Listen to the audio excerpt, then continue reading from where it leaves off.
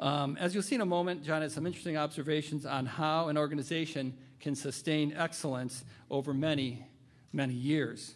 I'm pleased to introduce John Schlifske.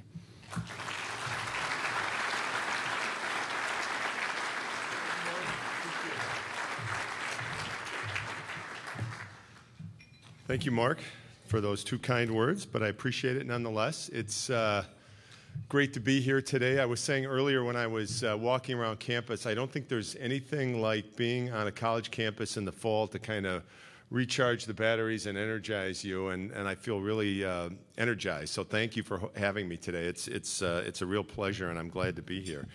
Um, the title of my talk today is um, something that I use a lot around the company. I like to say that Northwestern Mutual is a company for all economic seasons. It, I, I, came up with that. I was rereading the book A Man for All Seasons, and I love the ti- or the play. I mean, I was rereading the play, and I love the title. And uh, I thought I'm going to sort of steal that and appropriate it for Northwestern Mutual.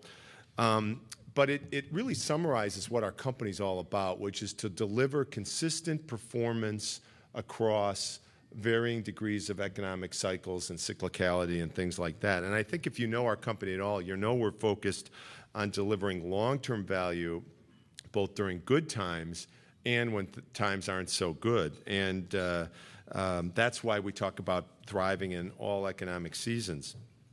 But uh, it has a deeper meaning for our company as well. It doesn't just mean thriving when times are good and thriving when times are bad. It really gets to the fact that um, We've been around as a company for 155 years, and we're proud to pass along these beliefs and these values that we have um, to succeeding generations of our policy owners. And so for us, in many ways, uh, being a company for all economic seasons is really about sustaining greatness. How do you sustain greatness over long periods of time? And I'm not talking about decades, I'm talking about scores of years and even centuries in our case. And um, I really think the foundation of our company flows out of that. If you wonder why we act like we do, just look at what underlies sort of our business model, the foundation of what our company is all about lifetime relationships between our financial reps and our clients. We're not a transaction based company. We're about a lifetime relationship between our reps and their policy owners and clients. We have a business proposition that's really tied to being relevant to our clients, whether you're 28 years old and just starting out, or 22 years old and just starting out, or whatever it is, or whether you're in retirement and trying to cope with the issues of how you manage your life after uh, working for a living and everything in between. And so we're, we're not just relevant when somebody's rich and we're not just relevant when something bad happens, we're relevant across the scope of an, a person's entire life as, uh, as an adult. And then on top of that, we make, as part of our business model, guarantees or promises that usually take 50 or 60 years to fulfill. I mean, when you think about it, when you're buying an insurance policy from us, all you really get is two things a piece of paper and a promise. And the likelihood is, is that we won't deliver on that promise for 40 or 50 or 60 years. In fact, I get to write uh, letters to our policy owners who have been around for 50 years, and there's a ton of them, believe me, they go out all the time. So, uh, you add that all up, and what we're about is this notion of having a relationship and a commitment to generations of policy owners, not just people who are part of our company right now. And ultimately, what that means is that we treat new policy owners. So if you buy a policy from us today or you become a client today, we treat you exactly the same as we do people who have bought policy owners from us in the past. And it means that we expect to keep the promises that we're making today, if you become a new client, out in 2060 or 2070. Think about that. We're making commitments today that we're going to pay out in 2070. It's hard to fathom. And we don't aim to simply keep those promises, but we aim to succeed and ex- exceed what we promise in terms of long term value to our policy owners. So that's how this notion of being around for or being successful in all economic seasons came to pass. And it's generally not a top of mind business topic. If you think about it, most business books, and, and I like to read business books, are around building good companies, right? Think about the titles. Uh, last century it was In Search of Excellence. The most recent uh, hot business book was From Good to Great. It's all about how do you take a company and make it into a great one. And I think that we need more business books that talk about sustaining excellence. How do you maintain a high level of excellence once you've achieved it? Uh, I don't think it's easy, but it's uh, something I want to talk about for the rest of my time up here today. So, when I start talking about this, oftentimes I get questions like, John, why are you so focused on this notion of sustaining excellence? And I, and I like to sort of tell it this way, and it's, it's semi humorous, but I've been, I'm 53 years old, I've been CEO for two years, um, and we have a mandatory 65, age 65 retirement policy. So I always say, God willing, the board willing, and my wife willing, not necessarily in that order.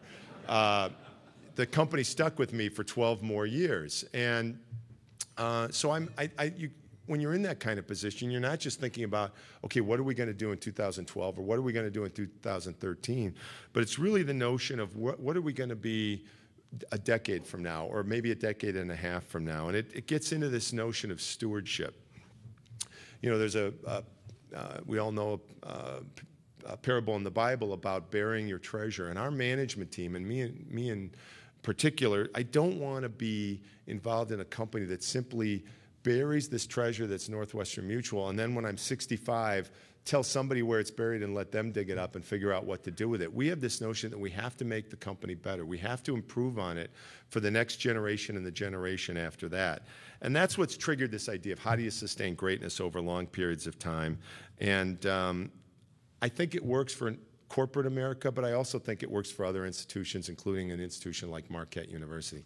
How do you maintain greatness over scores and scores of years. So let's begin by defining what greatness is. So in corporate America, we look at numbers, right?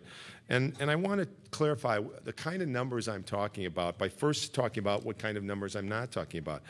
I'm not talking about exponential double digit growth year after year after year in sales or in earnings or whatever benchmark you want to do. Um, it, it's, it's really almost impossible to sustain that, and it's certainly mathematically impossible to sustain double digit increases over long periods of time. So, greatness doesn't just mean, well, we grew 20% over the last four years or something like that. that that's very important, and it, even our company would love to be part of that, but that's not the kind of greatness I'm talking about. When I'm talking about sustaining greatness or sustaining excellence, I'm talking about the kind of growth that large, mature companies can aspire to and achieve uh, well beyond what may be considered the golden age of that company. So, for you know, in our case, if you go back far enough in history, there was a period of time, uh, um, I think, uh, over several decades, where we were growing at 25% a year. Now we're a $25.6 billion revenue company. It's impossible for us to grow at double digit increases year after year after year. If we did it, at some point we'd be larger than the, entire US economy. Same thing's true of IBM. They had their golden age in the 50s and 60s. And now they're still a great company. They're just not growing the way they did way back then. And you could probably guess that Apple's maybe in that case. At some point, when you look at what Apple's doing now, it's kind of hard to, sustain, to think how they're going to sustain this incredible sales momentum. Um, you know, they can't. I, I, don't think the i the iPhone 12 or whatever that version is seven years down the road is going to have quite the zing that the first one did. So we're talking about growth that is multi generational. It spans scores of years and it transcends product fads or market cycles or booms or sort of the, sort of the exogenous growth that can occur when the economy gets red hot. And for us, in many ways, it's the next act of how you sustain greatness going, uh, you know, on. So, what happens to many companies? Well, oftentimes, once a company has exhausted sort of how it got to a position of greatness, it doesn't really have a sense of how to keep it going. They've sort of exhausted what they know and they don't know what, what to do going forward. And that's why when we talk about growth, we talk about it from an acceptable growth rate perspective. We know we can't grow at double digit rates. We don't want to grow at double digit rates. So we're talking about real organic growth that's several percentage points above whatever inflation rate's going on at the time. So mid single digits kind of growth year after year after year. And when you look at companies that can't do that, it's pretty obvious if you dig deep, dig deep enough what some of the causes are. Their products don't work anymore. They're tired or they're obsolete. Uh, they make acquisitions that they think is somehow going to create organic growth, and they find out that one plus one really equals something less than two. They make stock buybacks or they get over leveraged in an attempt to grow their stock price, but you only get a few bites at the apple to do that. That may work in the short run, but long term, you can't keep buying your stock back. Or they have credit problems and they get into you know, a, a situation where they owe their bank and they don't know how to pay it. And um, or you have another company enter their industry and sort of disrupt the status quo and they can't react to it quickly enough. So let's talk about what do I think it takes to sustain greatness over long periods of time? Well, first of all, the one major given is you have to have a successful business proposition. You need to be, I always say, you need to have three things to be successful as a large company. You have to have something that makes you unique. You have to be relevant to your customer base because you can only fool people so long. So there has to be something endemic in what you do that they actually want and then the third thing is you have to be profitable. You have to be able to produce that in a way that creates a margin for the, the capital that is needed to run that business. And you learn that in business school, and I'm not going to really talk about that today because I think that's a given in terms of sustaining greatness. I want to talk about what you have to do beyond that. And I think there's um, three or four things that I want to talk about. Now, I would argue that we have that value proposition. We're unique, we're um, profitable, and we uh, are relevant to our client base. So I don't really worry about that when I sit at our, you know, with our management committee and decide what we want to do to run the company. We know what we have to do to fulfill those three things. For us, that's an execution issue. It's not as much a strategy issue. For us, the issue around sustaining greatness is really the, the product of two things. It's this profitable business mix that I was talking about, but it's also a mix of cultural things, or uh, excuse me, of attributes that are more cultural in nature. They aren't really tied to the bottom line. Um, and, and so we put them more in sort of the cultural camp when we talk about it. And I believe that any institution, large or small, not for profit, for profit, university, corporation, can have these attributes. But I will tell you, and, and, by the way, I don't think they're a secret. When I, you, you, might be disappointed when you hear what they are, but I think they're very difficult to build upon, and I, that's why I think I want to underscore them with, with you at lunch today. They require discipline, they require patience, and most of all, they require confidence because they don't all work all the time, and you have to be confident that it, it, they're going to come back in vogue at some point in time. So let, I'm going to go through six things that I think do this that help you sustain greatness over long periods of time. The first is financial strength. All great institutions over decades and decades of time are built to last in terms of their financial strength. They have strong balance sheets, they have cash and reserves, they can withstand uh, economic shocks and keep uh, going, they can withstand unexpected economic disasters, and it gives them the ability to keep going when things are really tough. And I'll tell you, it's really important. I can't tell you how many companies that I dealt with in 2009 after the Lehman bankruptcy and the big stock market crash. And we, you know, we, I'd go to an industry thing or a business roundtable thing, and I'd ask CEOs what they were working on, and they would talk about a new strategy. And we've got a new strategy, and we're going to put it in place. And, and I thought that was sort of weird because basically what they're saying is they had a strategy that worked when times are good, but they don't have a strategy when the times aren't good. And yet we all know that our the economy in the U.S. has good times and bad times. So if you have a strategy that really only works when things are good, you basically aren't are functioning on all time. And it's I don't think it's a good strategy to begin with. Financial strength also reduces the fear of making wrong decisions. And that's incredibly important. It damp down, damps down the natural fear of boy, do we really want to do this? Because if we're wrong, it's going to cost us money. And it gives management teams extreme amounts of latitude in sort of pushing the envelope and taking your business to the next level because you can afford to make mistakes. Not huge mistakes. We would never bet the company on anything, but we can make little mistakes. We can have experiments. We can pilot things. And if they don't work out, we scratch them off the list and go on to the next thing. And that's because Northwestern Mutual is a AAA rated company. We're as strong as we can possibly be. But I think the best thing about financial strength, is, at least as it relates to Northwestern Mutual, is it creates a culture of zero tolerance of bad actors. You will never hear us at Northwestern Mutual say, we've got to cut corners in order to make this earnings thing, or we've got to cut corners because um, our profits don't look good this quarter or something because we know we're strong. We know we're going to have a bad quarter every now and then. But because we're strong, it's not going to take our eye off the ball. And, you, and it creates this notion where people do the right thing even if it costs us money. And that's what I think makes us special as a company. It's part of our blood. Simply put, our financial strength is part of our fiber because it leads to great decision making, whether the economy is good, bad, or ugly. And we're proud to say that we've always been strong regardless of what the economy is doing. Even in the depths of the 08 and 09 uh, recession, we maintained a AAA rating with a stable outlook from all the major rating agencies. So every company has to know that they have something in reserve to be financially strong so they don't stop doing the things they know that work even when times are tough. Okay, second thing, you have to have a positive culture built on values that you're proud of. Okay, that's, that's pretty easy to say that, but I think it's much harder to instill that in a corporate fiber of a company. And it's much more easily said than done. But to grow over the long term, I think you have to have a company that creates a positive culture, not just for the customers, but for all your stakeholders, your employees, your board, your salespeople, not just senior management, but everybody that's involved in the economic engine that in our case is Northwestern Mutual. And we see this culture as sort of a variation on the golden rule of do the right thing and treat other people the way you'd want to be treated if you were in that situation. And we don't let individual goals, so by, based on someone's performance plan, or our corporate goals around profitability and growth and those things ever get in the way of that notion of what's the right thing to do. And here, I just give you a couple examples, and it, this is sort of like bragging about your kids, so bear with me, but it, it, I think it'll show you sort of what Northwestern Mutual is. The first thing is, I mentioned earlier, we treat old customers the same way we treat new customers.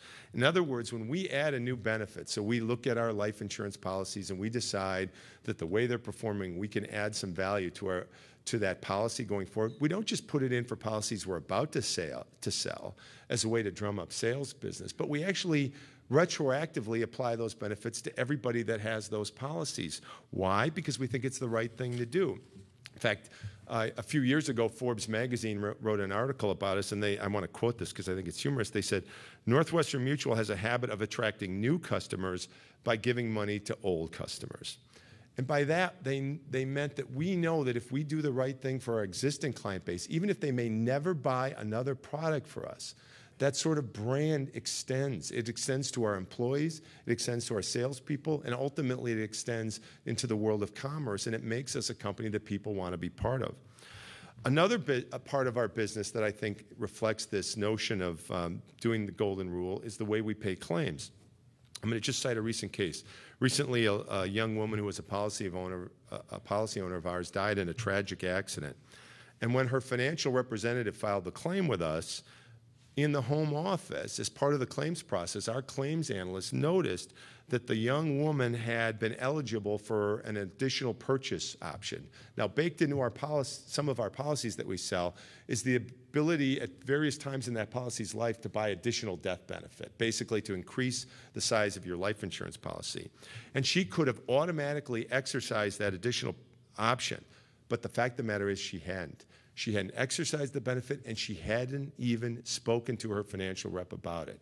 But we knew that there was still time left on that period. We knew that the option hadn't expired, and we assumed, because it was the right thing to do, that she would eventually get around to exercising that. So when we paid the death claim, we didn't just pay the face amount of the insurance, but we paid the amount including the additional death benefit that she would have had had she exercised that option. Now, let's make it clear we're in business to pay claims, but we're not in business to play claims that aren't legitimate. But in this case, it's an example where we thought we needed to go the extra mile based on what we thought that woman would have done, and we paid that claim. And the moral is sometimes you need to trade short-term profits for, you know, a positive culture that comes back to you in spades. So there's no question that people feel better about working in an environment with a positive culture, and that gets into sort of um, the third thing. Money isn't the most essential thing in many people's minds in determining employee loyalty or employee engagement. And the same thing goes true for customers. Sometimes there's this shadow brand that goes on around Northwestern Mutual where people know that sometimes in the short run, we may be sacrificing profits, but in the long run, they're better with us. And that gets to my third thing, which is favoring the long term over the short term. I think if you're interested in providing long term value, there's going to be times when you're going to have to sacrifice short term gains. And it's a very difficult trade off. We're a mutual company. We don't have any shareholders. I don't have 30 year old Wall Street analysts calling me once a quarter to ask me what's going to happen with our earnings per share. And that gives us incredible latitude in how we manage the business. And I know for public companies, it's a different environment. They have that quarterly sort of call that's coming. But for us, we can manage for the long term because we've earned the confidence of our policy owners. And so the way we do this is by uh, focusing on the notion of delayed gratification. Now imagine, buying a life insurance policy is probably the most extreme uh, view of delayed gratification there is. If you buy a life insurance policy on yourself and it pays off, you're not even around to enjoy it, right? So there's actually no gratification. The only real gratification is knowing that you're providing for your loved ones if something bad happens. So we're, we're very heavy into that, but we also know that we have to excel over the long run because we have to maintain the confidence of our board. If we just talk long term, but then fail to deliver against long term metrics, ultimately they're going to lose confidence in what we do. So it's this combination of delayed gratification combined with metrics that need to work over long periods of time, which we measure our, ourselves against. And that's where confidence and patience come in. Okay? If you're measuring your performance. And our board knows that a lot of our measurements are, are going to pay off in 2015, 2016. So that's three, four years out. You have to have the confidence of that constituency that they know that even if 2013 is not a good year, we're not going to abandon strategy, tear up the plan, and go on to something new. So you have to have people that are have at their core, as part of their personality, a long-term view and delayed gratification. Fourth, fourth point about sustaining greatness is this notion of creating a sense of community, a real team. Even beyond a positive culture, there's companies that thrive in the short run, but they don't thrive in the long run. I think sometimes it's because they don't have that sense of community, almost like a family. For employees, the way I liken it, it's less, I want to have a team where people are less about being the star player on the team and more about being on a winning team, period. And I think that's really what Northwestern Mutual is all about. We have people who are at all levels of this organization who derive more satisfaction from our organizational success than they do necessarily from their own personal success in every given year. And they have that faith in the company to know that if the company does well and they're part of it, they'll ultimately do well. And so you have to attract and retain those kind of people that value that kind of thing, that are self aware enough to understand that it's not necessarily about them in a given situation, it's about the organization, and then they can make that sort of that trade off. So it's around team incentives, it's around shared responsibilities.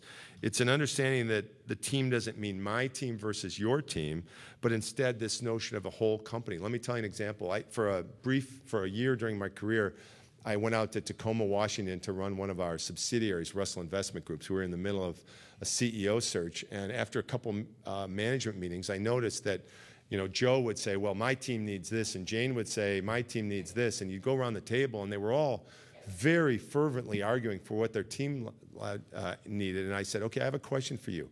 Who's on my team at this table?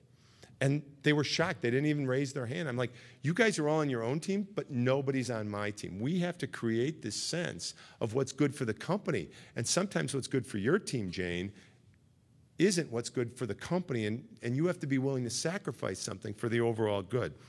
So we spend a lot of time focusing on team achievements, company achievements. And I think if you watch Northwestern Mutual, you'll see very little celebration of, of individual efforts. And it creates this notion of being transparent and vulnerable, and this notion that I know that I can give something up because I have confidence that the team is going to make something better of it, and eventually I'm going to get it rewarded. So it's learning, it's constructive criticism, it's cooperation, and it all comes back to this notion of it's not about me, it's about the organization itself. The fifth thing, I'm almost done, is around homegrown talent. It's, it's, I think, an incredibly important part of our organization that the vast majority of our senior jobs are occupied by people who have been with the company for 15, 20, 25, 30, 35 years. In fact, we had a retreat uh, in June, and of, of the 30 top leaders, four of us were celebrating our anniversaries. We had a 25 year anniversary, a 30 year anniversary, a 35 year anniversary, and a 40 year anniversary. And I thought that was really remarkable that at that senior level of the company, just with four people, you know, you're talking over 110 years of total tenure. And um, homegrown talent, everybody likes to talk about. I think part of the secret of having homegrown talent is this notion that you have to sometimes sacrifice talent for culture. Okay? So sometimes there are people at Northwestern Mutual who are very good performers, but they just don't get that notion of uh, it's, it's about the company, not about them. And you'll see that most of those people self select out and go work somewhere else. And so we, we have to weed these people out, not by threatening them or not by firing, firing them, but showing them that our culture doesn't reward individual achievement, it rewards team achievement that builds up over long periods of time. And so that creates this notion that people who self select into that culture of staying there for 5, 10, 15, 20, 25, 30 years. So this is difficult though, because sometimes leaders aren't that secure in that. And sometimes you're looking at someone on your team and you're like, can I afford to lose that person? Uh, they don't fit culturally, but they're really carrying the ball in terms of other things. And you watch superstars leave, and you have to be willing to do that for the sake of this notion that we want homegrown talent to be able to thrive there with the culture that we want. And now for my sixth and last point, and this is maybe um, the most important. You need to evolve as a person, as a, as a team, and as a company around what you're good at. You know, a lot of people, if I ask them to say, uh, tell me what, in one sentence, what you think Charles Darwin's theory of evolution is. They'd say it's the only the fittest will survive, or only the strongest will survive, or some variation on that. But if you actually look at it, what he really said is only the most adaptable species survive, and that's what I think evolution's all about for a company is this notion of adaptability. It's, it's finding out what isn't working anymore and gravitating to something new. And I think that's true of Northwestern Mutual. I mean, if you, when I started back in 1987, we were almost exclusively a life insurance company. We basically sold a few other products. They were de minimis in terms of the total revenue pie, and we were just in the life insurance business. Now, we haven't left life insurance. It's still our bedrock product. It's our flagship product. It's where we have the most value. But we've added things to it, and we've gravitated from being an insurance company to a financial security company. And we've watched our employees gravitate their skill sets, and we've watched our sales force gravitate from being insurance salespeople to wealth management advisors and things like that. So we've undergone this evolution all around this notion of being relevance. So as a company, I don't think revolution usually wins it. I think it's evolution. It's finding ways to adapt over time to the changing landscape and never be so caught up in what you were that you can't adopt, adapt into something that's better and going forward. And I think that's what we're in the midst of right now at Northwestern Mutual.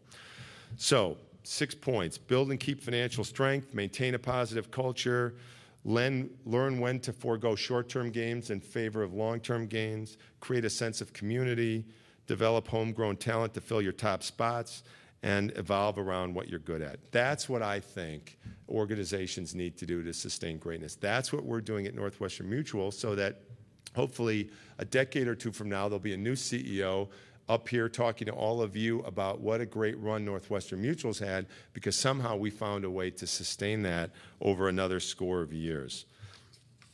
I'm proud to be one of those employees. I'm proud to be part of Northwestern Mutual, and I'm proud to talk about it. Thank you very much for listening.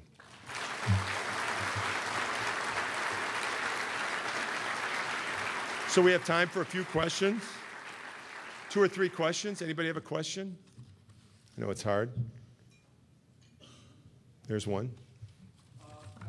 Yeah, so the question was how does this notion of sustaining greatness um, impact uh, Milwaukee Succeeds, which is what I'm a part of? And just to briefly, for those of you who don't know, Milwaukee Succeeds is a relatively new effort that's geared around trying to solve the educational crisis that's going on in the city of Milwaukee. And it's agnostic about public, private, parochial, choice, charter schools, and it's really just trying to solve it holistically. And when I became CEO, I decided I wanted to have one thing that was sort of what I really focused my not for profit energy on. And we were looking at the educational landscape and we were trying to decide whether we should go deep and sort of sponsor one school and get behind it 100% or whether we should be more broad.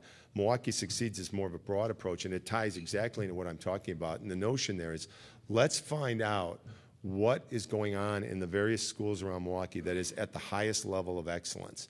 And the one thing I'm always struck by is that this school has something that's really good, but maybe not so good in other areas. And this school has its best. And let's find those things that, that are at a high level of excellence and then create sort of this umbrella organization to get the, the best of that into every school in the city so that we can create this greatness across the entire school spectrum, not just in one particular sleeve or age group or reading dynamic or things like that. So I think it does have a lot of relevance. It's this notion of what is the best that's going on here and how do we export it to every other school in the city?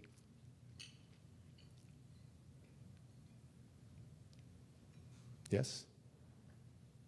So the question is around mutuality. And for those of you who don't know, in the insurance industry, there's typically two kinds of companies a publicly traded stock company that is owned by its shareholders, and then a mutual company like ours that's owned by its policy owners. And when you're a mutual company, you don't have any shareholders. The policy owners own the company. They you know, appoint the board, they elect the board, and that's how it works. Um, and mutuality has been a huge advantage to our company, and it allows us to have this long term focus that I don't think the publicly traded stock companies will. Just two quick anecdotes on that. The first is that a lot of the companies that demutualized back in the uh, early part of the last decade, the 1999 to 2002 period, did it because they were having earnings problems. And I think they, or sales growth problems, or something similar to that. And I think they, to go back to my sustaining greatness, took their eye off the ball of the long term, became so concerned about short term issues that they thought simply changing their ownership structure, going from a mutual and basically what's called demutualizing and becoming a stock company, would solve their problems. And what they found is it, it, it hasn't. And I have two close friends in, the, in my CEO insurance industry group who are running uh, stock companies, one of which is MetLife, where I started as a, as a young analyst. And they both tell me that they would give anything to put that genie back in the bottle and go back to being a mutual company because it has changed the way they operate, and they don't think they're operating um, for their policy owners the way they used to. And I think that is a huge differentiator for us. Mutuality for us is more, though, than just the ownership structure. It's this notion that I was talking earlier about doing the right thing for our policy owners at all points because not only they're customers, but they're our owners as well. One more? One in back there? John, first, thank you for coming and sharing your insights. And as you know, we have a lot of students here.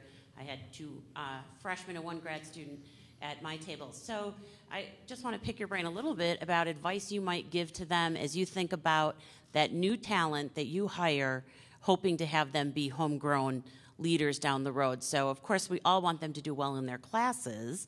Um, but what other two or three things might you say they should be doing in their next two, three, or four years of college? Well, um, the, the first thing I could, I could say is whether you want to be a businessman or woman, or an actuary, or uh, an English professor, I tell everybody the same thing. And by the way, I have a son who's a senior in college right now. I tell him the same thing. You should be taking as a diversified course load as possible. Don't just stick to your major. Take a philosophy course, take an English course, because ultimately, business uh, there is no textbook to tell you how to run Northwestern Mutual. I'll tell you that. It's all around critical thinking, the ability to analyze things, uh, the, ability, the ability to form a logical argument. If this, then this. What does that mean? Then where do I go? And that's all about thinking. That's not about coursework or a specialty. And so the first thing I tell everybody is you've got to have a, a mind that can be critical, that can do critical thinking. And I think the best way to do that is a, a well-rounded uh, education. Second thing I tell people is um, when you start in the work world, I think the era of st- starting at a company and being in a position and doing that for the rest of your life is over. And the, the thing we tell all our employees is you'll probably have to reinvent yourself if you stay at Northwestern Mutual four or five or six times because the world is changing. It's, we all know this. It sounds, sounds sort of trite. But this notion that the skill set that you need right now to succeed in your job is going to be the same skill set that you need to succeed 20 years from now is, in my mind, uh, a, a, fallacy. So you've got to think about ways to grow as a person, to learn, and to, and to adapt. And it's not just the company's responsibility. We tell our employees, you have a responsibility to do that as much as we do. So those would be the two things I'd say. Well done. Thank you, everyone. I appreciate it. Thanks for listening.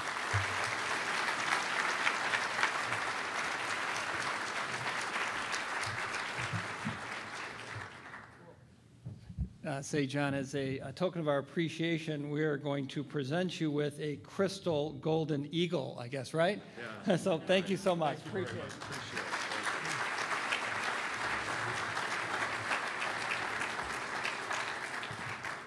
Uh, thank you for all, thank all of you for uh, coming out today, and that uh, that's the end of our, our program. Uh, see you next year at the 15th uh, Business Leaders Forum. Thank you again. Bye bye.